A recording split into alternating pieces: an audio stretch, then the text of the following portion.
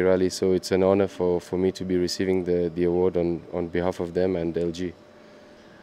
Yeah, I mean, uh, I'm always motivated. There's a lot of still a lot of motivation in, in me for, for me to push uh, harder and and and uh, further. We've we've not reached, or personally, I don't feel I've reached where I want to be in, in the sport, and there's definitely a big drive inside me to further extend what we've accomplished so far. I haven't really looked at Voi's uh, stages. It's not the same Voi that we did uh, last year where we won our first KNRC event. So um, from what I've seen, there's a lot of junctions. Uh, it's a bit rough, but uh, yeah, if you're talking about my driving style, I'm more suited to uh, tight corners and tight races uh, as opposed to open and fast rallies. So yeah, for me, if it's tight and twisty, that's where I, where I can prosper. Uh, yeah, it's it's been a long year for us. Obviously, we've taken part in the Africa Rally Championship. Uh, we we ch we chose not to do Ivory Coast. Uh, that gave us a big disadvantage in the Championship uh, of Africa. Um, only due to budget, we you know it's we had to rent a car, and uh, we saw it. Uh, we didn't see it fit for us to be able to do that. apart from that rally, then we won the rest of the the rounds of the Africa Rally Championship.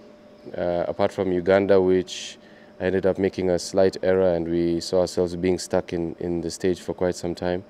But uh, we managed still to, to finish sixth overall uh, in that rally. So that's the only thing, the only two rallies that set us back in Africa Rally Championship was not doing Ivory Coast and then a small mistake in Uganda. Apart from that, we won the rest. So it, it's, it's been a good uh, indication of where we lie in, in terms of the African uh, drivers. Uh, then with regards to KNRC, uh, I would say the the entries could be better. We we lost our top drivers like uh, Baldi, Baldev Chager. We've lost uh, Carl Tundo. They all well, I would like to say they're on a sabbatical, but I don't know if they'll be coming back for for proper race. Uh, so you know it's been uh, uh, two. You know it's been just uh, myself and. Jasmeet Chana, always first, second, first, second. So I think I've, I could say I've won the majority of the races, and he's finished consistently second behind me in all.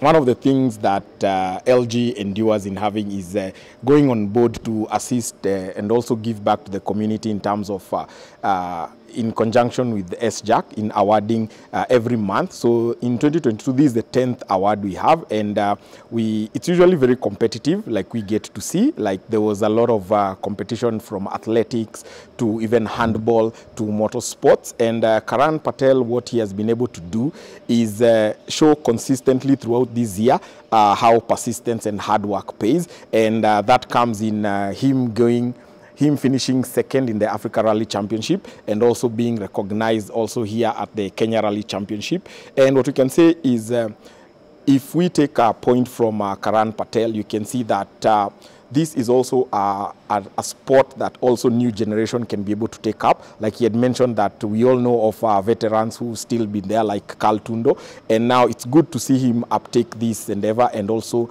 encourage also uh, upcoming upcoming drivers or even young young young young people to show that uh, they can be able to take up this sport. Like he started racing while he was uh, he was young and you can see it's able to be growing.